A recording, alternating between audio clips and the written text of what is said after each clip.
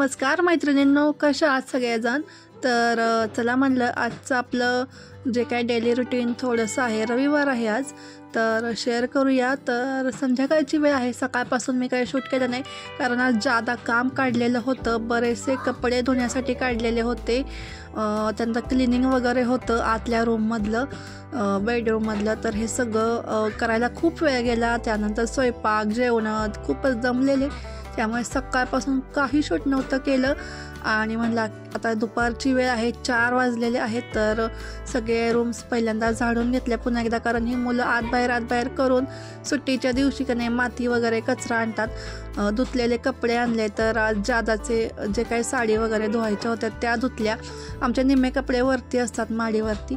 आणि थोडेसे इथं बाहेर टाकलेले होते तर ते तेच मी घडी करून ठेवत आहे. त्यांना बेडशीट वगैरे धुतलं टिफिन बॅग्स मुलांच्या त्या धुतल्या. त्यानंतर अजून बरेच असे राहिलेले होते छोटे छोटे काही कपडे गावावरनं वगैरे आले तर तेही धुवून टाकले. नवीन ड्रेस आर्याचे वगैरे हे सुद्धा धुतलं. त्यामुळे जवळजवळ दीड तास माझं तेच चाललेलं होतं सकाळी आणि मग स्वयंपाक जेवण खूपच दमायला झालं. तर बघा हे अशा प्रकारे काम आज रविवार म्हणलं की हे असं करावं लागतं. हां त्या मॅट धुतल्या कारण स्कूलमध्ये नेलेल्या होत्या योगा किंवा सूर्यनमस्कारासाठी. त्यामुळे ते एक घाण झालेल्या होत्या त्याही धुवून टाकल्या. तर बघा इकडे आर्याचं काय चाललेलं आहे. म्हणलं ताक मी फ्रीजमधून करायचं होतं म्हणून हे बाहेर काढून ठेवलेलं होतं दही.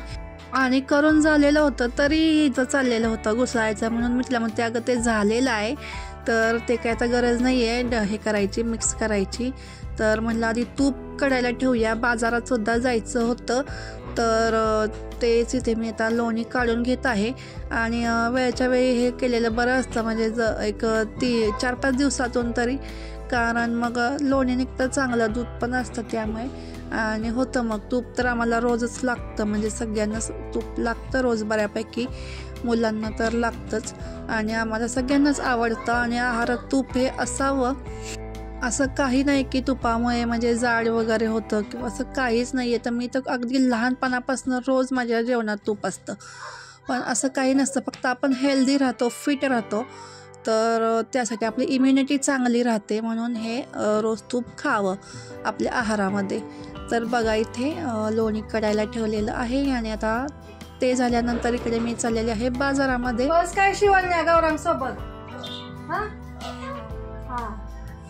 चला. चल चप्पल घाल. तर इकडे मी बाजार घेऊन आले आता आणि म्हणलं थोडंसं चला आता बोलूया आपण. तर बोलायचं म्हणजे काय? तर मला माझे फ्रेंड्स आहेत जुन्या मैत्रिणी वगैरे आहेत तर त्या विचारतात की यूट्यूब सुरू केलेलं आहे मग काही कमेंट वगैरे वगैरे काही येत येतात की नाही? म्हणलं हो येतात पण चांगल्या कमेंट येतात. म्हणजे अजूनपर्यंत तरी अजिबात वाईट कमेंट काही चाललेली नाही.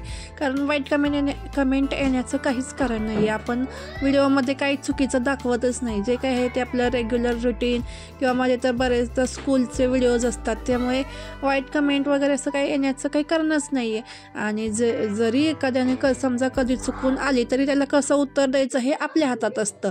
म्हणजे शांततेनं द्यायचं की आ, आ, काय त्याला आरडाओरडा करून दंगा करून उत्तर देणं हे आपल्या हातात असतं. तर मी पण मैत्रिणीला सांगितलं की नाही काय त्यात काय एवढं म्हणजे नाही अजून तरी आलेली नाही आहे मला तशी कमेंट आणि आपण आपलं चांगलं काम करत राहायचं आहे. कसं आहे आपलं जर क कर्म चांगलं असेल तर आपल्याबरोबर काही वाईट होणारच नाही. आणि जरी चुकी कधी अशी वेळ आली तरी म्हणजे मी नॉर्मली बोलते की जरी आपल्यावर कधी व- वाईट अशी हे आली वेळ आली तर आपल्याला सोबत आपला देव असणारच आहे. किंवा आपण जे चांगलं कर्म केलं आहे त्या त्याचं फळ आपल्याला तेव्हा भेटणारच आहे. या ना त्या रूपात चांगल्या कर्माची फळं ही आपल्याला भेटतच असतात. आणि जर आपण समजा एखाद्याने चुकीचं काही काम केलं तर त्याला त्याचं याच जन्मामध्ये किंवा कधीतरी कुठल्या ना कुठल्या जन्मामध्ये ते त्याला फेडावंच लागतं. त्यामुळे आपण आपलं कर्म जे असतं ते नेहमी चांगलं ठेवायचं असतं. आणि मी मुलांनासुद्धा नेहमी हेच सांगत असते की या मा- माझ्या मुलांना किंवा स्कूलमध्ये सुद्धा सारखं आम्ही म्हणजे मु विद्यार्थ्यांना हेच सांगत असतो की कसं म्हणजे आपलं बिहेवियर चांगलं पाहिजे किंवा वागणूक चांगली ठेवायची आपली. एकमेकांना म्हणजे उगाच द्वेष करून किंवा भांडण टांटा हे कशासाठी काय करायचं आपल्याला बघा आयुष्य हे एकदा मिळत असतं. त्यामुळे ते कसं जगायचं हे आपल्या हातात असतं. आपण जर वादावाद करून सारखं म्हणजे एकमेकांचा द्वेष करून जर जगत राहिलं तर त्याचा काहीही उपयोग होत नाही.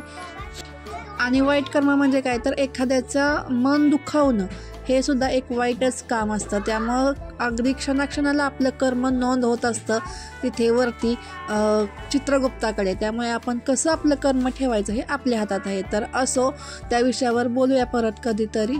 आणि इकडे बघा उद्या आहे शिवजयंती तर आमच्या स्कूलमध्ये काय काय काय काय आता सांगितलेलं आहे. तर तिथे आमची तयारी चाललेली आहे की काय घालायचं आहे उद्या तीच तयारी आम्ही ते करत आहे. तुम्हाला सांगितलं शिवजयंती आहे उद्या. आणि उद्या आमचा पाळणा आहे म्हणून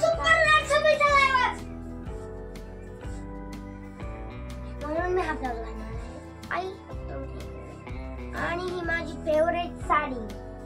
होईल का हा मग तुझ्यावर? होय की? बरी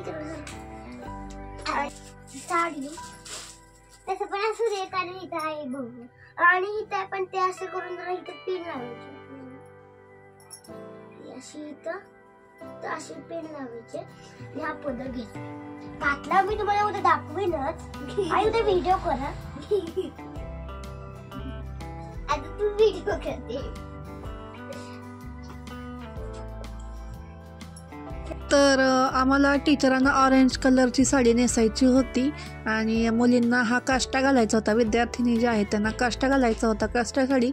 आणि मुलांना व्हाईट सलवार कुर्ता किंवा असं घालायचं होतं किंवा फेटे हे सगळं घालायचं होतं. तर मी इकडे आर्याची ज्वेलरी काढून ठेवत आहे. आता कष्टासाठी तिला नेसवायची म्हणल्यावर ज्वेलरी घातलीच पाहिजे. तर बांगड्या तिला बसत नव्हत्या गेल्या वेळेस. तर माझ्या बांगड्या मी शोधत होते. माझ्या बांगड्याच मी तिला घालते. आणि बसतात तिला बरोबर. थोड्या मोठ्या होतात पण ती तिच्या छोट्या हो व्हायला लागल्यात तिला. तिच्या ज्या काचेच्या होत्या गेल्या वर्षीच्या मुंजीतल्या तर त्या तिला खूपच छोट्या म्हणजे शिरतच नाही रडती ती घालताना. त्यापेक्षा आपल्या मोठी घा मोठ्या थोड्याशा घालायच्या बांगड्या आणि पुढे तिच्या साईजचे जे कंडे असतात ते घालायचे. म्हणजे ते काही खाली ओघळत नाही मग. अशा